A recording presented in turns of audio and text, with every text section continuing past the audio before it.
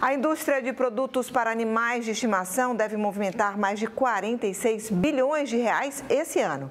Um reflexo do isolamento social que acabou estimulando muita gente a ter um animal em casa. Hoje, metade dos lares do país tem ao menos um pet.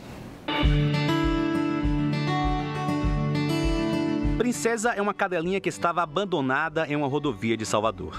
Até que dias atrás, ela foi resgatada por Manuel. A gente vai buscar uma nova família para ela, ela está em tratamento ainda, mais uns 20 dias, e depois disso a gente vai, vai buscar uma família legal para ela. Manuel só não vai ficar com Princesa porque já tem outros três cachorros. 5% da renda dele vão para gastos mensais com os pets.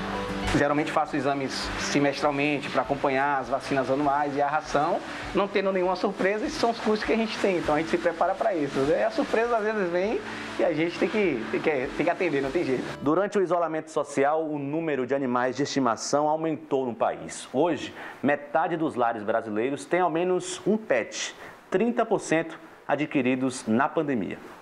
E isso estimulou os negócios na indústria de produtos para bichos. O setor deve movimentar mais de 46 bilhões de reais esse ano, crescimento de dois dígitos. A procura por serviços está tão grande que esse pet shop no bairro da Federação resolveu ampliar as instalações. Há dois meses, o estabelecimento inaugurou uma clínica e uma farmácia que funcionam 24 horas, além de espaços para eventos e internamento de animais. A gente foi pega de surpresa tanto com a pandemia e tanto com o desfecho disso tudo, né? O mercado pet acabou que cresceu muito na pandemia. A procura por adoção, a procura por ter um animal, uma companhia, acabou que fez com que o mercado pet crescesse e aí a gente foi na contramão da crise. Gastos à parte, não há dinheiro que valha o amor desses amigos. Rosa que o diga.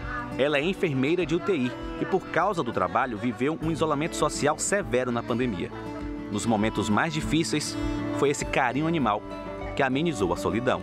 Dentro de casa, ele foi parceiraço, porque era quem eu podia abraçar.